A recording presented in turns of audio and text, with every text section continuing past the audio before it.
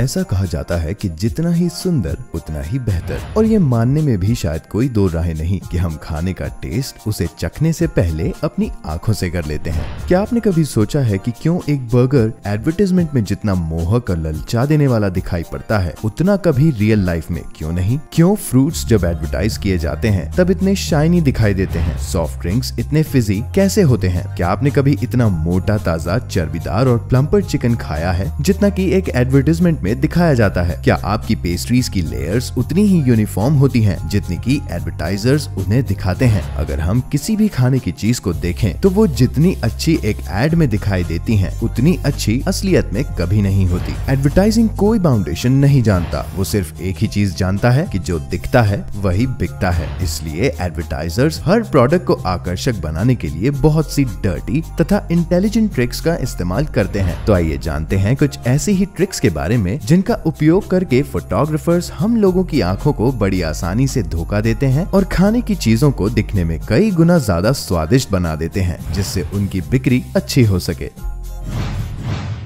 Freshly cooked appearance commercial shoots एक बहुत ही लंबी प्रोसेस है और इसमें एक परफेक्ट क्लिक पाने के लिए कई सारे रीटेक्स भी लिए जाते हैं। अधिकतर फूड्स में वाटर कंटेंट ज़्यादा नहीं होता और ऐसे में खाने को इतने लंबे समय तक स्टीमी रखना मुमकिन नहीं हो पाता। न ही किसी के पास इतना समय होता है कि वो किसी भी खाने की चीज़ को बार बार गर्म करे। तो फिर इतने स्टीमी शॉट्स के पीछे का क्या सीक्रेट है?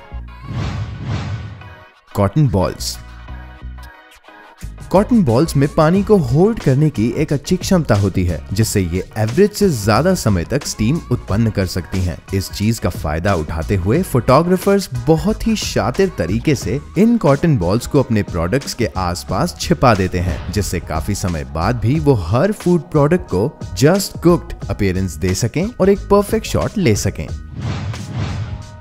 स्टीमर्स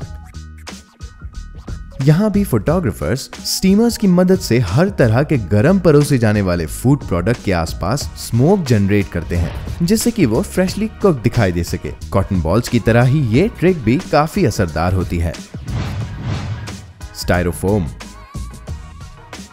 क्या आपने कभी ये नोटिस किया है कि जब भी हम कहीं पास्ता ऑर्डर करते हैं तो वो एडवर्टीजमेंट में दिखाए गए पास्ता के जैसा हीपिंग बिल्कुल नहीं होता?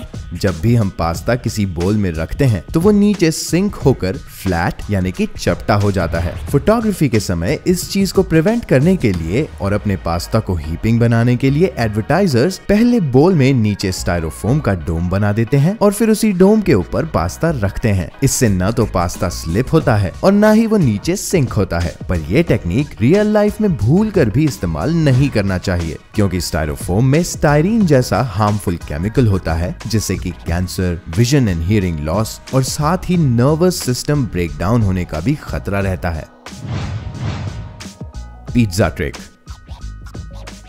पिज्जा जितना चीजी एक एडवर्टाइजमेंट में दिखाई देता है, उतना कभी रियल लाइफ में नहीं होता। आखिर ऐसा क्या है जो पिज्जा को एड में इतना चीजी बना देता है? दरअसल पिज्जा के चीजी पुल शॉट के लिए भी एक बेहद शातिर ट्रिक का इस्तेमाल किया जाता है, जिसमें पिज्जा को बनाने से पहले उसके बेस की एक स्लाइस काट कर उस स्लाइस के कटे हुए हिस्से में चीज़ के टुकड़े या चीज़ स्ट्रिप्स को परपेंडिकुलरली रखा जाता है, जिससे पिज्जा के तैयार होने के बाद उस हिस्से को पुल करने में चीज़ की थिक वाटर फॉल लेयर आ सके। साथ ही फोटोग्राफर्स एक परफेक्ट पुल शॉट के लिए पिज्जा को थोड़ा ठंडा होने देते हैं, क्योंकि गर्म चीज़ थिन होने के साथ साथ जल्द ही अलग भी हो जाता है। इस ट्रिक को रियल लाइफ में यूज़ करने में काफ़ी समय और पैसा बर्बाद हो सकता है। समय की पाबंदी और अधिक भीड़ होने के कारण होटल्स रेस्टोरेंट्स और कैफेज जैसी जगहों पर इस ट्रिक का इस्तेमाल करना मुश्किल ही नहीं, नामुमकिन हो जाता है।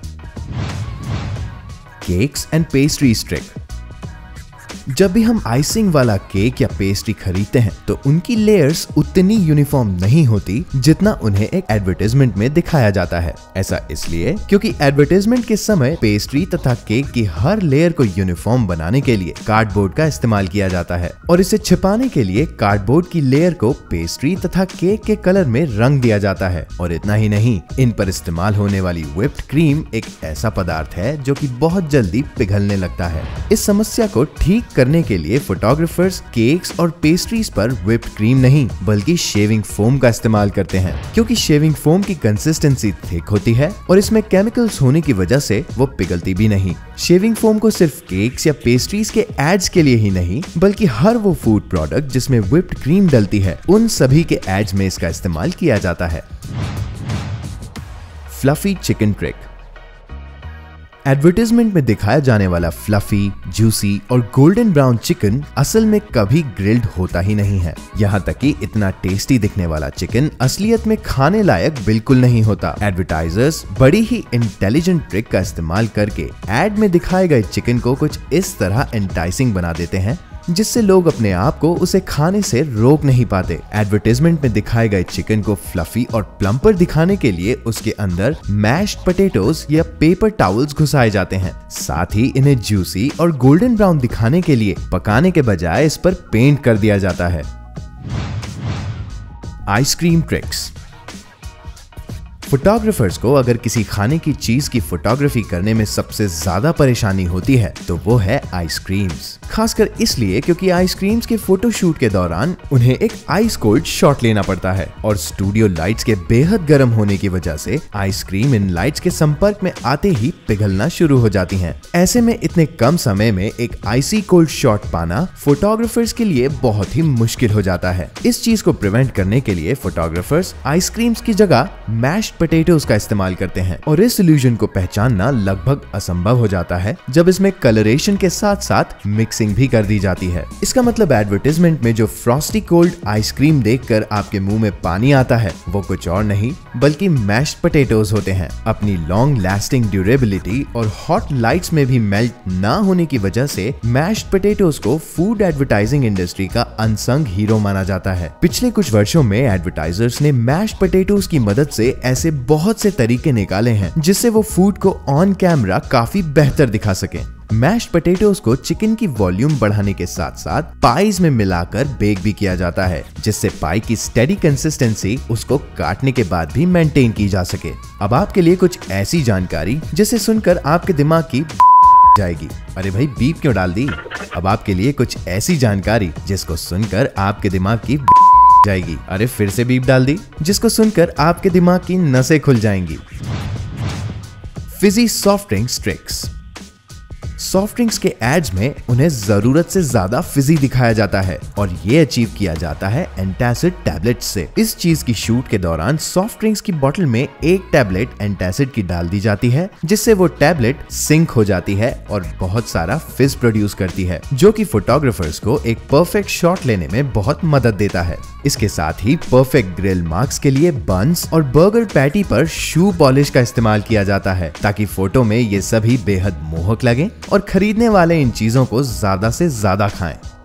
इसी तरह के और वीडियोस के लिए आज ही जन्नाट फैक्ट्स को सब्सक्राइब करके बेल आइकन को दबाना बिल्कुल ना भूलें। और अगर आपको ये वीडियो पसंद आया हो तो इसे लाइक और शेयर ज़रूर करें। Good bye